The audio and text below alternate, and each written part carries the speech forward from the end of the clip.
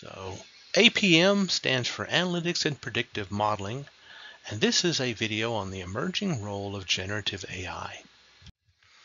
We're in a big data revolution. Big data allows us to create sophisticated, highly complex, very complicated predictive models. Joint probability distributions over millions of random variables and billions or trillions even of tunable parameters.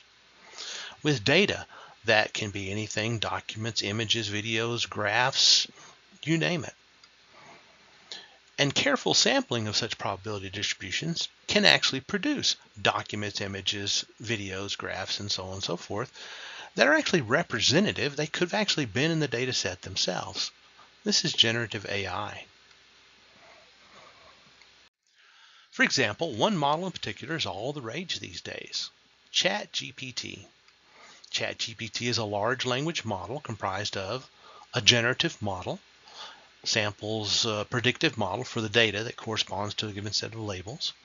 It's a pre-trained model. Parts of the model are frozen after initial training, so the rest of the model can be fine-tuned. And it's a transformer, a neural network architecture introduced in 2017 by Google Brain and Google Research. Now, this GPT architecture is used to implement a chatbot. So ChatGPT is remarkably versatile. For example, suppose we wanted to know what exactly does id est idealis mean? We could do a Google search, and that's not helpful. We could do another search engine, that's not real helpful. Or we could ask ChatGPT. The Latin phrase id est idealis is already quite close to the intended meaning, which seems to be something like that is ideal or that is perfect. However, if you're looking for an alternative phrase with a similar meaning, you could consider id est perfectum, which translates to that is perfect. That's really versatile, but it's not very good at math. For example, let's look at this high school algebra problem. It's relatively straightforward. You just do some grouping and then you can factor it. So ChatGPT, now this is 3.5. Let's ask it to factor this problem that we just factored. The expression x cubed plus 2x plus 3 is a cubic polynomial. To factor it, we first need to check if it has any rational roots using the rational root theorem. The rational root theorem states that if a rational number p, q is a root of a polynomial with integer coefficients, then p is a factor of the constant term. 3 in this case, and q is a factor of the leading coefficient, 1 in this case. In this case, the possible rational roots are plus or minus 1 and plus or minus 3, since the factors of 3 are 1 and 3. However, by testing these values, we find that none of them are roots of the polynomial. Since there are no rational roots, the polynomial cannot be factored into linear factors with integer coefficients. This means that the polynomial x cubed plus 2x plus 3 is an irreducible cubic polynomial over the integers and cannot be factored further using simple algebraic methods. Nonsense. We just factored it. But nonsense with a nice British accent. Now, ChatGPT 4 was a slight improvement.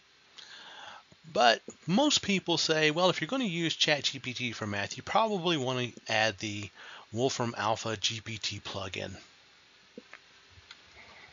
We've been doing Wolfram Alpha since 2005.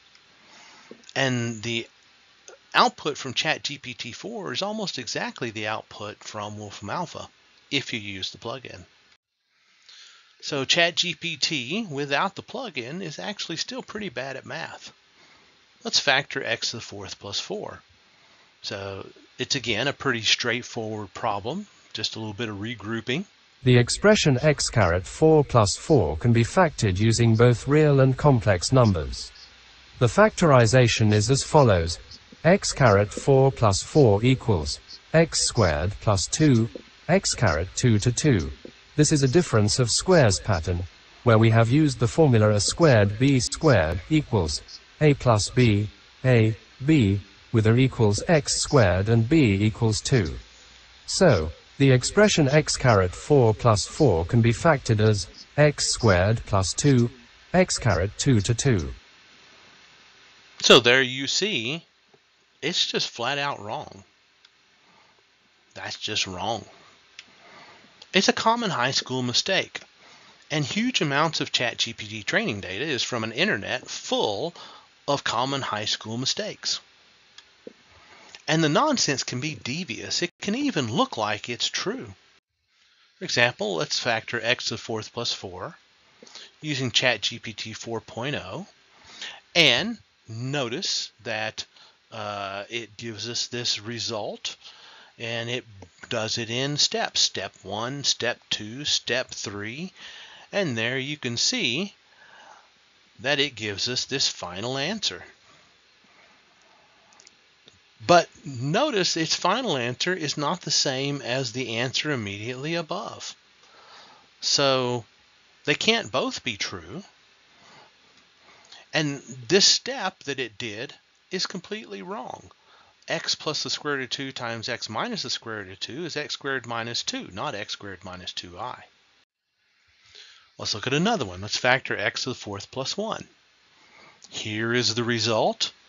Notice that it gives us the correct output, but it has this sum of squares by using this identity, which is completely wrong. For example, if a is 1 and b is 2, a to the fourth plus b to the fourth is 17, which is prime, and the other side is 5 times 3, which is 15. And notice that it actually has in step 3 that a fourth degree polynomial is equal to a sixth degree polynomial. So it just gave us nonsense and then probably sent the math to Wolfram Alpha to give us the final answer. In other words, as my wife said, ChatGPT peeks at Wolfram Alpha's exam paper to get its final answer. So in general, large language models have big problems. They produce incorrect results, which are often called hallucinations. They don't know their result is incorrect. They typically cannot correct the result when requested. AI also generates errant results for images and other types of models. So data science and AI are fantastic when they work. Casual users don't test them, they just want the wow.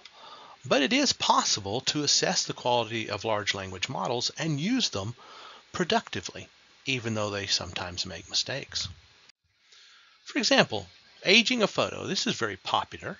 Here's me in 1985, and here is me aged 40 years to approximately 40 years to 2024, and here is me today.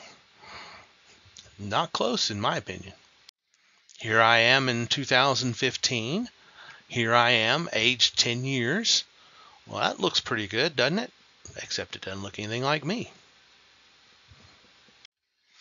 That is, large language models are fantastic when they work. And there is therefore a critical need for experts in large language models who can make them work. And today's world expects today's data scientists, which will be you by the end of this course, to be those experts. And so, we're going to make you into those experts. We're going to begin the development of your expertise with large language models by looking at the application known as code generation. You'll still need to learn Python, and you'll also learn how to use large language models to generate Python code. So our initial focus, large language models as coding assistants.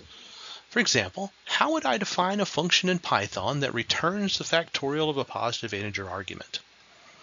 Now, a function is an input-output process of the form y equals f of x, which returns one and only one y for each argument x in the domain of f. So here is a picture of a function, a graph, but here's what a function actually is. It's a model or an algorithm. The key term here is that there's one and only one y for each x, one and only one return for each argument. And we're going to have to rely on modern definitions because the AI models do. You can't use vague partial understandings of math concepts and get anything useful out of these large language models. So prompts to large language models should state the context you're working with and should ask a question explicitly and correctly with modern definitions in that context. don't expect the code generated by a large language model to work. Usually it doesn't. So you must know Python both so you can ask good questions and so you can work with the large language model to fix the generated code. For example, if you set up an account on Anaconda Cloud, then it looks something like this. You have a, to get an account, but it's free. And then you can go to this notebooks and you'll get something that looks like this once it's started up. And it will ask you if you want to use the assistant. This is actually ChatGPT specifically for Python applications. Confirm your age, click continue, and now you've got the Anaconda assistant, ChatGPT for Python in JupyterLab. So, define a Python function that returns the factorial of a positive integer argument. Here's its response. Now I could copy this code or I could click this little run arrow and run it in the notebook. There it is. So let's see if it works. Let's take the factorial of 5. Well, I type that in, and then I can click the arrow there on the toolbar or do Shift Enter uh, to execute this cell, and I get 120. But what about if I put in negative 1? Well, notice that we said positive integer in our prompt, and therefore it throws an error when you have a negative integer. But what about the factorial of 0.5? Well, then we get this weird looking sort of thing, a type error. And we just don't want to do anything except positive integers. So we can go to the Anaconda Assistant again and we can ask the question, or actually the statement, modify what you've done so that it also raises a value error if the argument is not an integer. And here we have, again, the code for our factorial function. And notice that it now will raise a value error if you don't have a positive integer and a value error if you put in a negative number.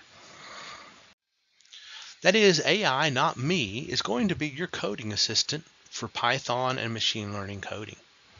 I'll introduce Python in the first week and I'll do many, many examples this semester.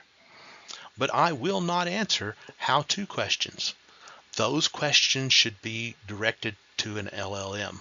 ChatGPT, Claude, uh, GitHub Copilot. Well, that one costs money. It's really nice, but it costs money. Uh, the Anaconda Assistant, so on and so forth. I'll also provide guidance on how to ask good prompts and get good quality code. And I'll have much more to say about this in the next video when we examine the structure of this course.